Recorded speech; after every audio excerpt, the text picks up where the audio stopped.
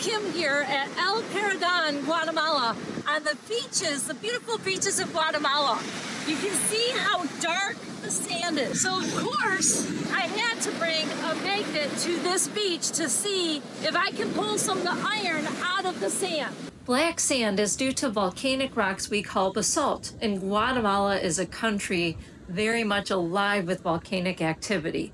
Basalt is magnesium and iron rich magnetic rock formed by the rapid cooling of lava from the volcanoes. I don't know if that's magnetic, but I'm going to go rinse it off and see if I have any iron that sticks to the magnet. These black sand beaches in Guatemala are incredible to visit. As a chemist, I love finding iron that came fresh from a volcano. This iron, as iron oxides, are attracted to a magnet, and almost 20% of this black sand in Guatemala consists of this iron